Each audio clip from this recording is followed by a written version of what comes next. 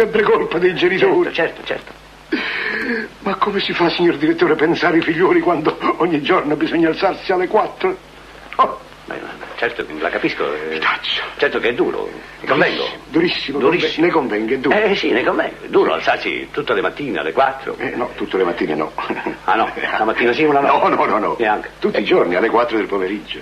Alle 4 del pomeriggio. Eh, sì. Lei si alza alle 4 del pomeriggio. Beh, io la- lavoro di notte, ecco. Allora, lavoro di notte. Capisco, fai il guardiano notturno. eh. Beh, sì, sì. Ah. In un certo senso sì, si, si è avvicinata al quanto.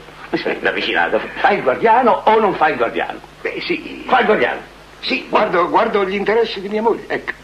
E notte. capirà, eh già, di notte, capirà, la concorrenza, le possono fregare il posto. Oh, e dico, se Ah. ci fossi io. Adesso ho capito.